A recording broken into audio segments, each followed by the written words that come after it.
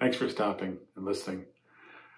When I was in the military as a younger man, I had the opportunity to uh, have a year rail pass or take some time off. And I took some time and I wanted to go to Athens to see the Acropolis. So I got on a train and I went through Milan, Italy, and um, on the way to Brindisi, which would catch the ferry across. Well, when I ended up in Milan, I was in a, a car that was filled with Italian soldiers.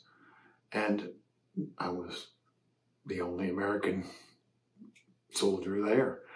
So we struck up a conversation and we spoke and talked throughout the night about um, events that are similar in our life. The interesting piece was they didn't speak English and I didn't speak Italian. But that didn't stop us from communicating with each other about the interesting and fun things that happen to people in the military. And I realized that even though I wasn't in the Italian military, there were some still very similar things that occurred. And the way they were trained is the way we are trained in the military in the United States as it relates to basic training and the funny things that happen in the military. The point is that despite the language barriers we may see or may feel, or the cultural barriers that we experience in, in another country, there are some similarities.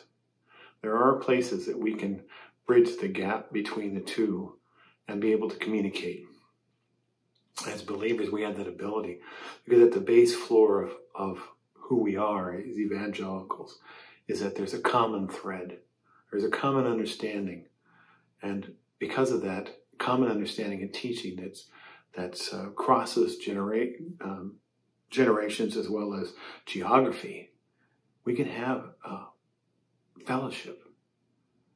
Like those times when I was in the um, in the train talking to people from different countries, is finding that bridge that allows you to communicate with people of other cultures and other and, and other languages.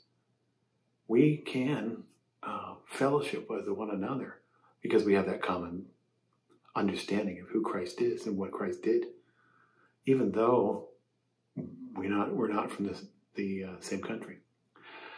So the next time you're out and you encounter someone who's not from your area, find that common ground to have a conversation and let the Lord take that conversation where it would lead. And maybe finding out that they need some help, maybe they need prayer or they or they want to pray for you.